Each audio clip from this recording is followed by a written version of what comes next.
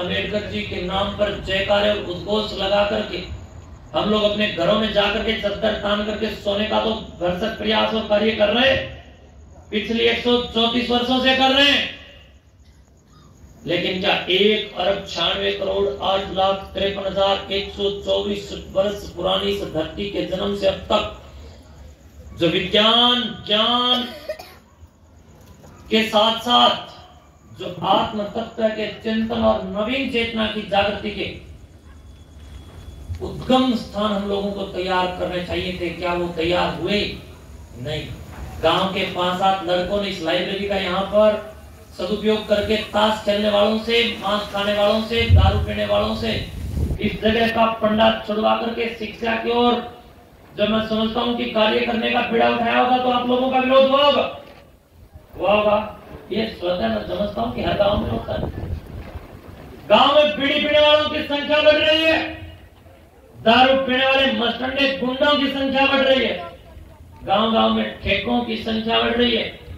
गाँव गाँव में स्मैक पीकर के, अफीम पीकर के, भाँग चरस हेरोइन गांजा, सुल्फा स्मैक के साथ साथ भाँग के पकोड़े खाने वाले गुंडों की संख्या बढ़ रही है। वही लोगों का मुँह नहीं खुलता है। लेकिन जब गाँव के बीस तीस चालीस लड़के इकट्ठा होकर के शिक्षा के लिए, समाज को जागरूक करने के लिए, किसी लाइब्रेरी आदि का निर्माण करके, मेहनत करके, किसी एक फर्नीचर का काम करने वाले से जाकर के बोलते हैं कि भैया, लकड़ी के लिए तू मदद कर तो फर्नीचर वाला बोलता है कि मैं तो आप सामान ला देना दिहाड़ी मेरी तरफ़ से फरी है।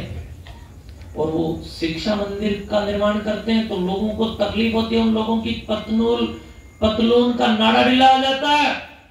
और बार बार उन शिक्षा के लिए कार्य करने वाले लड़कों के साथ लड़ाई तक करने का वो लोग साहस जुटाते हैं। बंधुओं ये कहा आपकी कुशाग्रता सोई पड़ी है?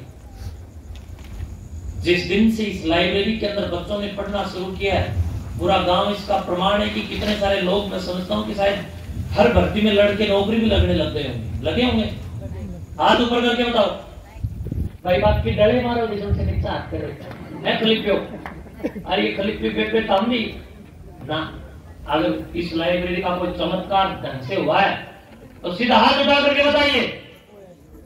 क्या आपके बच्चे नौकरी लगे हैं कि नहीं लगे देखो, मरी मरी आवाज़ में। बोलो, लगे हैं कि नहीं लगे तो बताइए, अगर आपकी लाइब्रेरी से जब आपके गाँव के नवीन नए नए लड़के नशे की लत से बच रहे हैं पुस्तकों से मित्रता कर रहे हैं रोज़गार को प्राप्त कर रहे हैं अपने जीवन को अपराधों से बचाने का काम कर। रहे हैं बुराइयों और कुसंगतियों की विसंगतियों से बचने का काम कर रहे हैं।